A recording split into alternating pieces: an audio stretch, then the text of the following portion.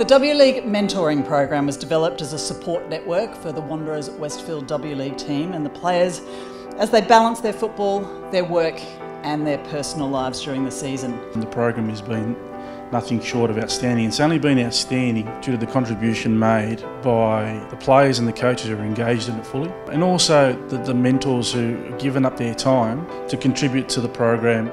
It's so touching to know that um, the club see us not only as footballers but people outside of the uniform as well. So to have that linked with our club is something really special. I think it's something that puts our club apart from other clubs and um, it's definitely valuable and um, something that the girls have great gratitude for.